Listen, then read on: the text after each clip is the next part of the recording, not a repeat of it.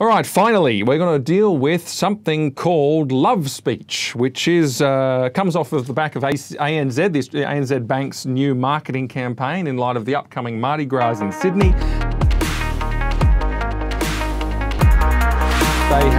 Campaign saying we need more love speech with the hashtag love speech. It's a campaign that they say is to highlight the hurtful effects of negative language on the LGBT community and to promote love speech instead.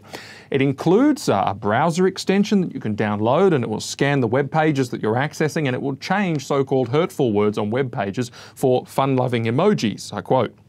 There is also a downloadable guide to appropriate language to be used around the LGBT community, and there's a whole range of smartphone themes which take allegedly hurtful words, uh, slogans like marriage is between a man and a woman, which is apparently hurtful. Uh, boys should never wear dresses, which is apparently hurtful and needs to be changed. And you don't look gay and things like this. And it does little edits with rainbows and different special effects to turn them into happy statements. And, uh, and, and that's your, your smartphone theme to go as your wallpaper. And you know, as I sort of, you know, it's supposed to turn hate speech to love speech. And as I thought about this, I felt unusually well qualified to talk about love speech. Because it turns out that Christians, indeed God Himself, literally wrote the book on love speech.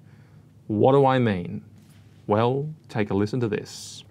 For God so loved the world that He gave His only Son, that whoever believes in Him should not perish, but have eternal life. John chapter 3, verse 16. Greater love has no one than this than that someone lay down his life for his friends. John 15, 13. But God shows his love for us in that while we were still sinners, Christ died for us. Romans chapter 5, verse 8. And you shall love the Lord your God with all your heart, and with all your soul, and with all your mind, and with all your strength.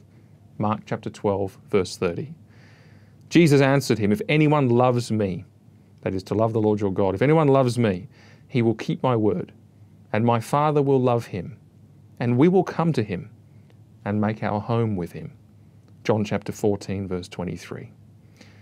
But whoever keeps God's word, in him truly the love of God is perfected. 1 John chapter 2, verse 5. I have been crucified with Christ.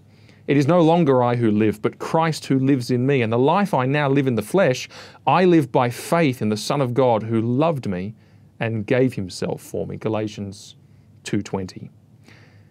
In this, the love of God was made manifest among us, that God sent his only Son into the world so that we might live through him. 1 John 4 9. We love because he first loved us. 1 John 4 19. Like I said, literally wrote the book on love speech. And I just think if hashtag love speech is the campaign, then we should be tweeting, we should be Facebooking, and we should be promoting the eternal and priceless love of God at every opportunity that we can, because that is true love like you'll never find in this world but which comes from God Himself. I'm Martyn Iles, and that was the truth of it.